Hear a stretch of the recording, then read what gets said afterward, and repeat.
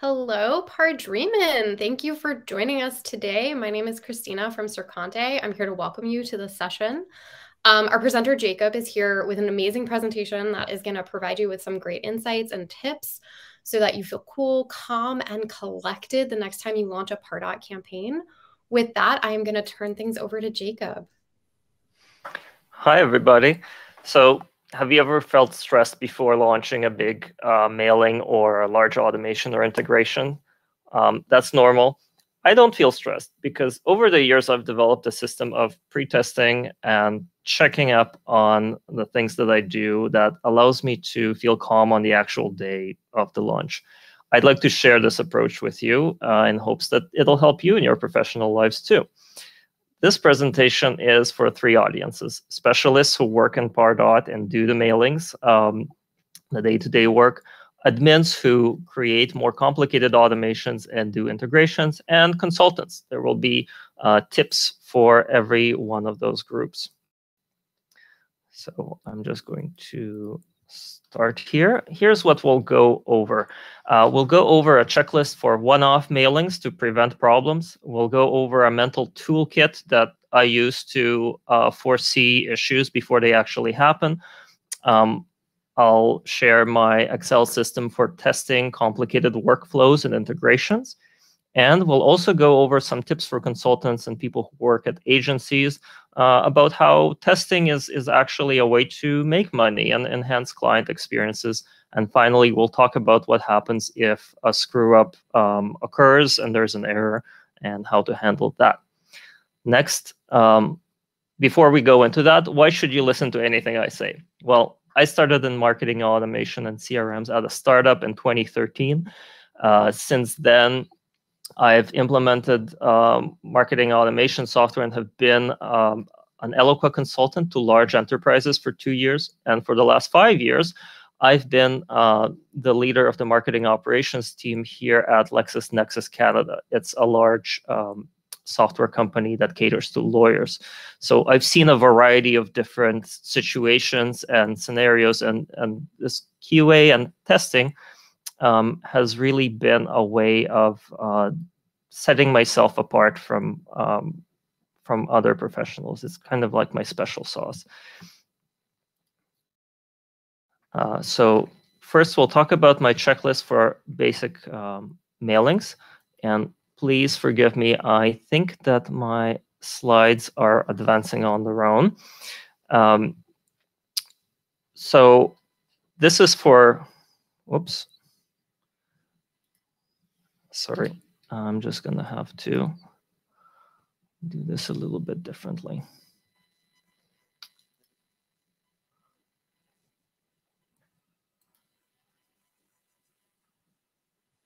Pardon me. Okay, can you see fine now?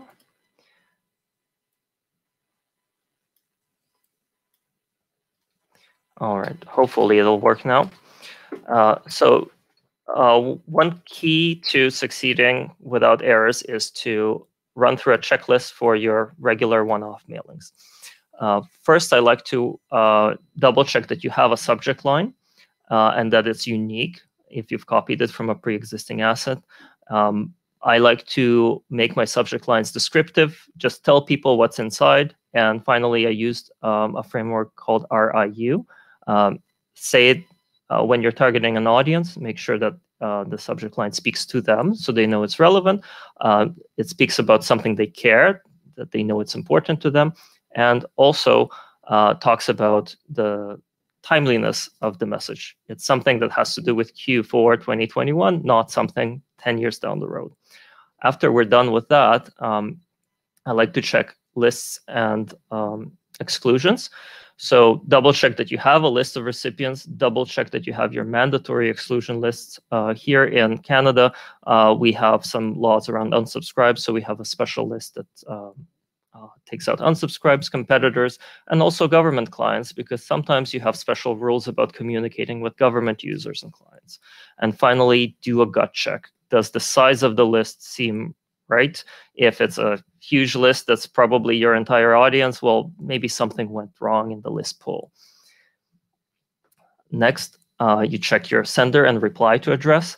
Um, the best sender name um, is one that's familiar to your recipients. Uh, make it uh, usually it's best to use the company brand. A lot of times people like to use the sales rep's name, but if this is an unfamiliar person to your recipient, then they will say, "Oh, this is some spam from a stranger." Uh, so only send email from a sales rep if this person has had a communication before with the sales rep. And next, I also recommend that you uh, have a live reply to address. Now, there's a trend of using a no reply address, uh, but I think companies that do that are missing out on a lot. Um, a live reply to mailbox can really save your backside. Um, it's a, uh, an important way to actually alert you to errors and problems with your mailings and workflows because people will reply and say, hey, this is wrong. Um, it's a way that I found out about problems before. Another thing uh, is that people will hit reply when they're ready to buy. So having that live mailbox is a way of getting hot leads in front of your sales team, uh, forwarding them to the right person. When you set up a, a reply to mailbox, I recommend that you just forward the replies from this mailbox to one designated person who's a live person. Um, they can have a set of Outlook or Gmail rules that take out all of the automatic out of office notifications um, and also put uh, these, these emails in their own folder. And finally, it's really tempting to actually use your reply to mailbox to do data hygiene and remove people who are no longer at a company. Um, if you have limited time and energy, I recommend that you don't do that. Just focus on the uh, messages from from re real actual people who say, you know, I'm curious about this, or hey, you have a problem with your mailing. Uh, next, uh, I like to double check that the mailing looks okay without images. And um, that means that's because many versions of Outlook uh, have images off by default. And if you put important information embedded in an image, um, people just won't see it. People who are blind won't see it because their screen readers won't be able to read it. And also, alt text is handled terribly in Outlook. So even if you put your message in an alt text, uh, people will might still miss it. Um, if you put important text into a graphic, uh, I recommend you also repeat it as plain text inside the email. Here's an example. Uh, here's an event invitation for July 7th at 12 p.m. Eastern Time. That's the event name. It's inside this beautiful image. Without images, this is what the email looks like. The date of the event is nowhere to be found. Um, so this is something that was caught and corrected later uh, because we went through this kind of check. The next thing to check on, on big one-off mailings is to send yourself a copy of uh, the email through Pardot and click on every link. Uh, check that the links go to the correct page and a live page. And then also check if the links have the correct uh, UTM parameters according to uh, your, your use of Google Analytics. Um, here is an example of an actual email. Um, you know, I'm hovering over this link and it's got two sets of UTM campaign parameters, um, two conflicting different values. So now we can correct this ahead of the mailing just because we've gone through that extra part, extra uh, step of uh, checking all the links manually.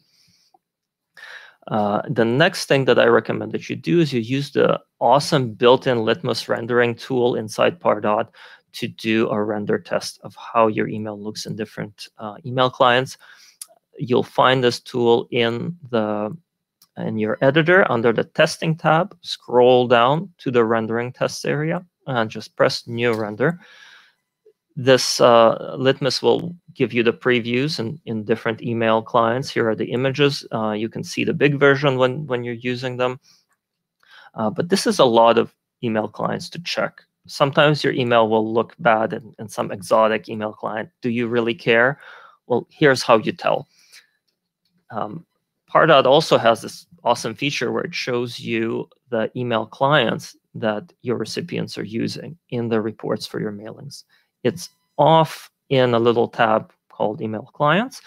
And um, I recommend that you find a particularly large but representative mailing that went out to your database that kind of captures all your different audience members, all the different markets. Look at the report for that, and that'll give you an idea of what are the important uh, email clients to check in Litmus. In this example, um, iPhone, Outlook, and Gmail make up significant portions of this business's um, user base. So we have to make sure that that we check all three of these um, email client families when we're doing render checks. Finally, the rendering tool also has another little tab that says spam analysis. Uh, this is out of the way, but it's pretty useful in that it analyzes the text of the email and the, the HTML of the email to give it to see if you'll trigger any spam filters. And it comes with really useful advice here at the bottom. So if you're doing a particularly large mailing, go take a look at this this area.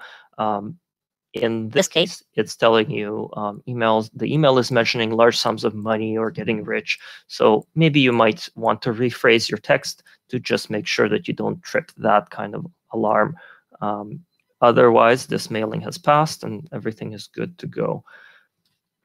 So these are one-off tips for one-off mailings. Uh, next, we'll take a look at kind of a mental toolbox that will help you troubleshoot any kind of problems. Um, these are five rules that, that I've built up over my career. And um, uh, the first one is that I recommend is you don't really launch anything on a Friday afternoon or a Friday night. This applies to small mailings and big projects like integrations. Um, the issue with Friday afternoons is you're probably rushed to finish something by the end of the week to deliver it. Uh, you are likely to make a mistake. If you wait until Monday, it's you're less likely to have an error. Uh, that last finishing touch on a Friday afternoon will probably end up being quite time consuming and will eat up your Friday night with your friends and family. Um, also, once you launch, there is going to be nobody there uh, monitoring your mailboxes on the weekends to catch any any egregious problems, any reply to mailings that tell you, oh, hey, there's an error here. Uh, and finally, you're probably not gaining much by launching on a Friday night. Not a lot of people are responding um, that that late in the day to commercial mailings. The next rule is nothing new ever works. This one is ripped off of uh, one of my favorite writers, Jerry Weinberg, who uh, is a late writer uh, and consultant. Um, he wrote a great book called Secrets of Consulting. And um, this rule basically says anytime you try something new, it's really likely it's going to fail in some way that you haven't foreseen, whether it's a new system you're using or a new approach to something.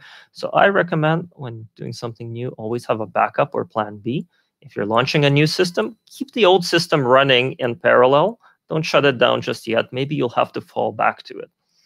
Um, also, do a dry run through the new system, through the new process uh, with test data just to see where the problems are. Don't assume if a vendor tells you it's going to work, don't assume their word for it. Uh, there might be an unforeseen problem.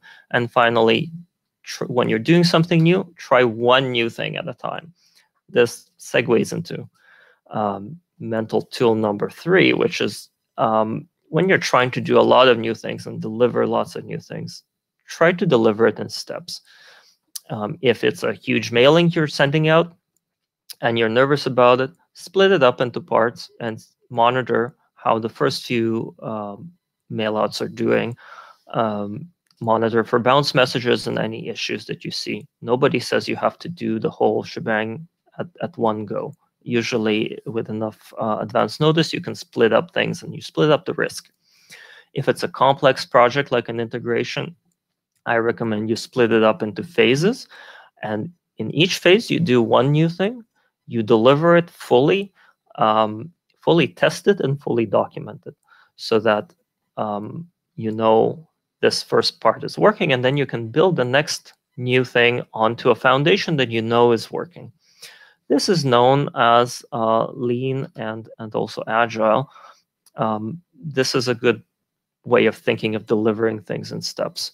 Um, instead of delivering portions of the project that don't quite make sense individually until the very end, try to deliver something that that uh, is usable um, by stakeholders and then keep on building on that so that at each point you're delivering something that's usable. Uh, next mental tool is um, pay extra attention for extra important mailings. You don't have to do a render test for a routine mailing to 100 people. Um, that's overkill, but it makes sense to uh, delve deeper and do some extra checks if it's an important mailing. 100,000 people or maybe 30% of your database, go through a couple of extra steps. Or if it's five people, but all five are VIPs and like they're the CEO of your company or some other companies, double check that everything is looking just fine. Um, another thing is if you're launching a new HTML template for your emails, you gotta do some extra testing. It's the first time you're trying it out. Probably something somewhere will break. Um, if you're sending out sensitive information that shouldn't be seen by everybody, also double check your system and approach. And finally, if you're breaking your normal way of doing things, again, that's um, somewhere where you should be paying extra attention. Um, not every routine emailing necessitates that kind of level of attention. So this is a good rule of thumb. My final tip is always try to think of three things that could go wrong with any big system or big automation that you're delivering. Um, usually, if you can't think of three things that can go wrong, you're probably not familiar enough with, with the system or, or don't understand all the different parts of it. Um, it's time to go back to the drawing board and take a learn a little bit more about what could go wrong. Um, I used the following creativity prompts to think about problems before they occur. Uh, think about events that might you, you think might happen some of the time, but what if it happens every single time? What if it happens none of the time? So thinking about extremes, um, if you're collecting some sort of input, what if it's the biggest possible value? What if it's the smallest possible value? What if it's a blank value? Um, or it's something non-standard. You're expecting a drop-down um, uh, list, but it's actually something different from a CSV upload.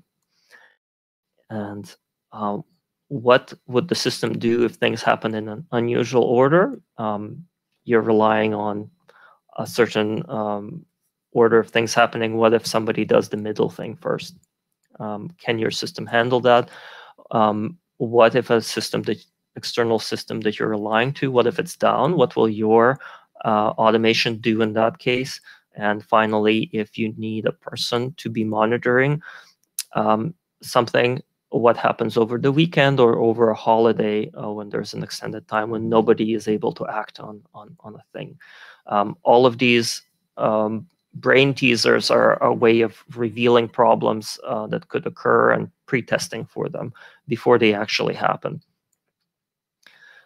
Next, we're going to talk about how to test complicated workflows like integrations and really big uh, engagement studio programs. So this is um, kind of my secret sauce, and this this has really served me well professionally, and especially this approach for pre-testing uh, has um, has led to harmonious work with IT um, IT teams. Uh, before we get into the nitty gritty of it, we need to talk about um, how do we simulate many different Pardot prospects that we can pass them through many different test scenarios. And the way we do it is with the Gmail Plus trick. When you have a Gmail, you can modify your address to your inbox plus anything you want. And any email sent to an email with this format is still going to land in your original mailbox. In this screenshot, you can see that even though um, my test account got this message, it still indicates what's the original um, altered address that the message was meant for. In this way, you're you're generating completely unique email addresses, and you can have an unlimited amount of uh, prospects to test with, each one with its own email address. And I like to number my test scenarios um, when I'm testing integrations and to add that into the email address for every prospect. That way I can refer back to the prospect it's related to. So here's an example engagement studio that we'll go through. It's from my own world of legal marketing. Um, in this engagement studio, um, lawyers are filling out a form and they're coming in and they're telling you what kind of firm they're working at. And depending on the firm, we will send them a different email. And um, in this example, a person can be a solo practitioner, uh, just uh, running their own uh, law firm, a firm of two to five lawyers or six to 10 lawyers. All of these will get the uh, small practice email. So there might be different actual values in your field, but they all should get the same email. How do we test that the right people are all getting the going down the right branch and getting the, the right email? Um, here's another illustration. You know, these are the possible values for a firm type, and these are the emails we expect them to get. And um, we're we're going to walk through an example of testing them. Our approach is going to be to use a familiar tool Excel to set up every prospect scenario. And we will upload those prospects and run them through the engagement studio. Then we will export um, or look at the results of the studio and compare to what we expected in our spreadsheet. Here's the format that we'll use. Um, I like to set up the test identifier for every unique test and then create that Gmail address that corresponds to the test. Uh, I might have descriptions here.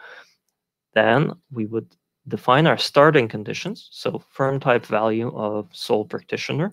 We will literally take these values and upload them as a CSV into Pardot. Next, we write down what do we expect to happen? What we actually intend? Well, we think this person should get email A. Next, we'll have a column for the actual outcome. We will manually go and check in Gmail what kind of email they got. We'll record it here. And the final step is we'll compare our expected outcome to the actual outcome and check if the test passed. Are they equal? Well, no, this test failed. In Excel, it looks like something like this.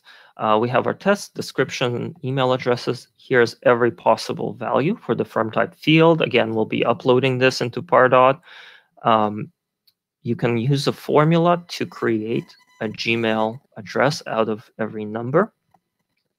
And then we put on our thinking caps and we, we think of those scenarios of what could go wrong. Well, what could happen with what kind of weird values could we get for firm type? And one of them could be blank, for example or one of them could be a nonsense value that's that's um, um, forbidden, but we still have to handle that in our engagement studio. Next, here is what I think, uh, what I intend each uh, of these scenarios to get as, as, an email out of our engagement studio. Um, we upload this information, run them through engagement studio, and actually I go and I check and note down which email they, they actually got. And finally, we do a very simple cell equals cell comparison in Excel. If they're not the same, well, this test failed. We need to modify our program. Now we'll look at another example where we take this and make it a little more complicated. In this one, we're going to email people based on their firm type and their geography, their Canadian province. Again, their Canadian province could be one of these values, and Here's an extra branching where they get a different email.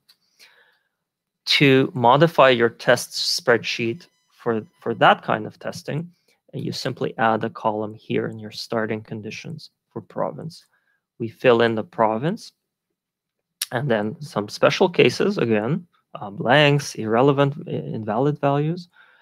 These will create completely unique prospects in Pardot that will check every scenario. And notice that I'm using uh, the same firm type uh, for every province. Then I go down to the next firm type. This is very exhaustive. You don't always need this, uh, but sometimes it's very, um, it might be a simple test where you just upload a big list and download a big list and compare them. In this case, we would be checking manually. Um, so uh, th this might take a little bit more work, but you've tested every possible scenario.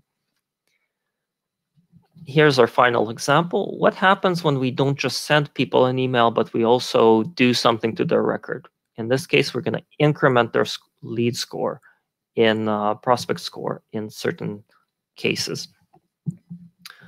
Um, here's how the spreadsheet changes. This is the one from before. We add another column to our starting conditions because we might need to upload a lead score of zero. We need to uh, to to preset our base level of the test.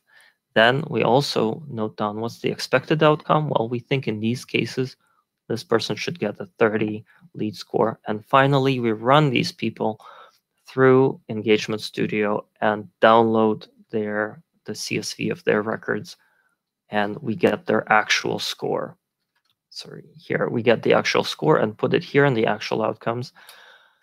We then compare two different fields to two other different fields. If they're all the same, then the test is passed.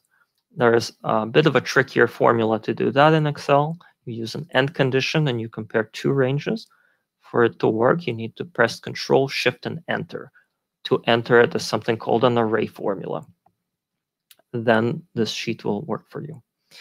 Um, taking this kind of testing further, um, comparing fields is, is an easy way to check if your records are doing what you expected. Another kind of check you can do is export um, prospects out of Pardot and the lists in which they are members. Here is a formula that you can use to, to check if somebody has gone onto the proper lists as part of your automation. Uh, this is just a tip. And then taking it really far, here's an example from an integration where um, where to where customer status was brought in from from uh, actual subscription systems into Pardot. So uh, you is being set up and described. Here are the Gmail emails here. Um, here is a baseline setup that we're uh, simulating for, for the external system. Here is the new outcome that we'll be working with in the uh, source system. Here is the Pardot's old value setup that we're simulating for scenarios with subscribers, you know, being active and then going uh, and then canceling their account. So this is where the, it'll say they're active. This is the expected value after we run our integration. So here is where it would say canceled we uploaded this information to the source system and into Pardot, ran it, and then downloaded the resulting data from Pardot um, as a CSV, popped it onto this sheet, and then in this final section, we do a comparison of about six different fields um, and checking if they all match up. Uh, and, and the integration behaved in the way that we theoretically planned it out to behave. Moving on, um, we have about um, we have about 12 minutes left. Uh, I'd like to talk about some tips for consultants with uh, quality assurance and testing. When I was a consultant, I used to think of testing. I started off thinking of testing as kind of a nice to have. That's something you do after you do the real work. But uh, as I started working more and more, I've realized that test test work is is actual billable hours, and it actually adds a lot of value to clients. Um, so here are some tips about thinking about uh, QA work and, and, enhancing that kind of ability in your consultancy or ad agency. Um, first, quality assurance help close, helps close the deal. By showing a plan for how you will test the work you'll deliver, you're telling, you're reducing the client's risks. You're telling them, here is how we actually uh, make sure the project will work out, because a lot of technology projects most technology projects end in failure, whether that's a system collapse, whether that's the scope having to be cut back, or big delays due to errors. Small consultancies usually don't think about uh, quality assurance because it's for, for larger organizations. But if your consultancy, consultancy does, then that sets you apart from your competitors, makes you stand out. And finally, if you are thinking about how you will test together with the client when you're defining your project it um, helps get everybody on the same page and and your work definition actually ends up being more realistic because you took that step Next, uh, quality assurance makes for happy clients. It forces you to think about what could go wrong and, and create a more robust architecture that will live for many years without problems at your client's home. Um, and you get fewer errors, you look better. And um, you've seen lots of spreadsheets, multicolored spreadsheets I showed you with the kinds of testing that I've done before. Um, testing creates a lot of very visually rich artifacts. Um, it helps you tell a story and it helps you bring to life something that's kind of very cerebral. You know, the, the client may not even understand what you did um, behind the scenes, and this is one way to walk them through. Here's how you've added value. The IT team at the client side will love you because quality assurance is something that they do professionally as, as a regular part of their job. So seeing you think about it um, um, really, uh, I found that that it makes the working relationship really, really a happy one and, and a smooth one. And finally, when you document your different tests, when you comment and um, you document the scenarios that you've set up, makes it easy to come back to your integration or to your project later and to enhance it and to retest that your new enhancement didn't break anything that used to work. Um, another big part is quality assurance is billable. You should absolutely build bill for QA. And it's also a way of bulking out and adding value even to small engagements. So here are some benefit from adding having an additional quality assurance line item there in your work definition.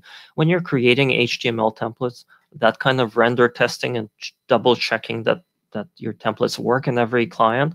That's QA that should be built and should be specified in your project. Any kind of automation could have a testing component to it.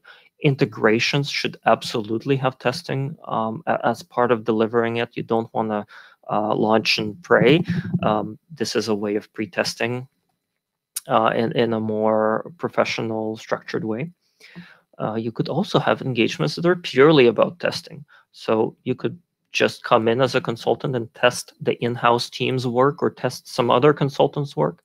You could have engagement that engagements that are just about creating that spreadsheet and for testing and thinking about problems that could occur. And then you hand it over to the client's team to actually perform the test themselves. So QA can, can be a really uh, a real source of revenue. And here's an example of um, a QA project that I've done. This is a pure QA project. There was uh, the client had a form that was inconsistently handling data that was entered to it. Our consultancy came in, and some other another consultant created a form that should have been more robust and responsive and consistent in responses. But the client wanted to see some numbers and evidence that the problem is solved. So I was brought in just for testing. The task was to run uh, multi-browser tests, submit a whole lot of information, thousands of records to this form, and then show, um, quantify the improvement in accuracy, show that we've had X failures and, and this is much, much fewer failures than before. This was a 30-hour project. So for a consultant, that's uh, that's a lot to bill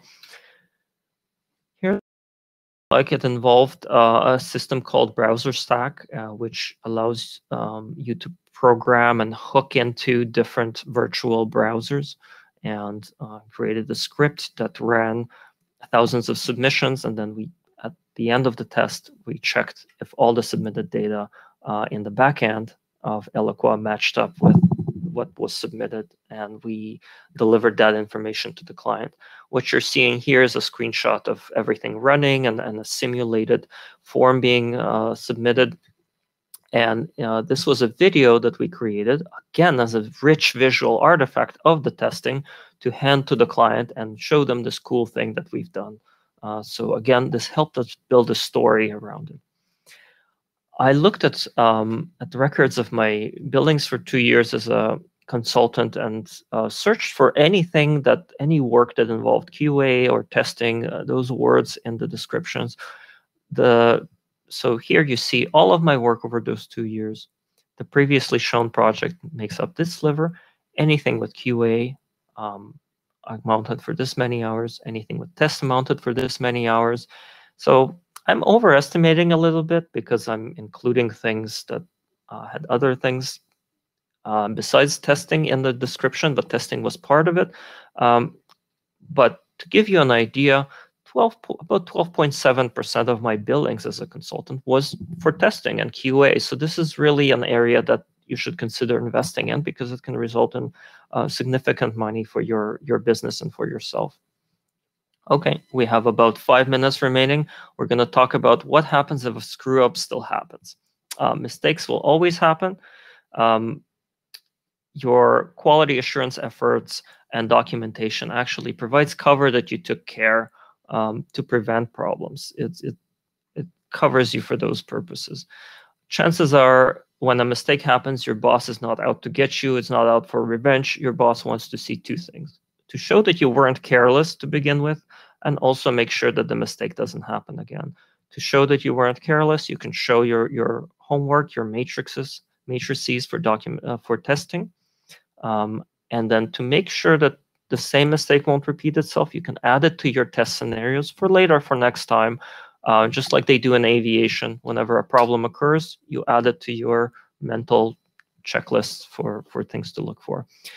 Here's my framework for dealing with screw ups in an organized way. You might be feeling panic, but with um, you know these three steps, it kind of brings you down to back to action, productive action. Size up the current impact of the problem how many people were impacted, five or 500,000. Correct the root cause for the future so that the, the future, the problem won't recur in the future. And then look at the people impacted and remediate for the past. Why in this particular order? Because if you don't correct the root cause and, and you don't prevent the problem from reoccurring, um, your your leaky bucket is going to keep on leaking as you're you're fixing it. So um, this stops the problem, and and this then corrects a finite set of you know, problematic contacts. Here is an example um, communication um, to stakeholders uh, in a sample scenario. Uh, I would tell our in-house lawyer, okay, out of a mailing of 1,500 students, we also ended up mailing 300 people who previously opted out. The message was non-commercial in nature. In this example, um, your corporate lawyer has everything they need to then do their own risk assessment and take their own steps.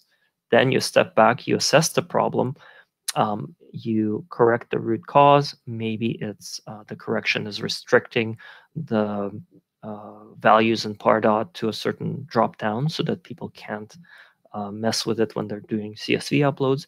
And also you can um, alter your process and your training to do things in a different way. Changing the process and training documentation is a valid way of um, correcting for a technical pro uh, problem, and, and, not many people are aware of that. And finally, I would remediate for the uh, correct the previously impacted people. I would correct their status, um, bring it back to the, the right value, and then I would send an apology letter if applicable. Now, for apologies, stop and think. Would an apology email make things worse when the screw up happens? Um, sometimes you just want to, it's better to stay silent rather than to call attention to a mistake or email people again because you've over emailed them. Um, and then if it's a big mistake. Uh, it should sometimes be a phone call or a letter. Um, big screw ups mean a high touch, really personal apology is needed. Don't try to be funny. Uh, when you make a mistake, it's not a time for uh, for comedy. Uh, just be direct and factual.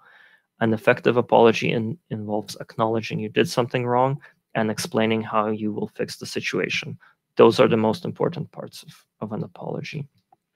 Um, mistakes can be lucrative. Uh, some of you might uh, remember the integration test email number one from HBO Max back in June on June 17th.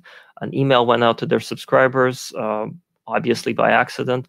It generated a lot of online conversation for them and a lot of brand exposure. This tweet from them on the topic got 162,000 likes on Twitter. 2.2 million documents on Google talked about this. So this can be beneficial and a brand builder. Um, one tip from this event, keep your test messages bland. Don't get clever with them, just in case somebody from, from the public sees them.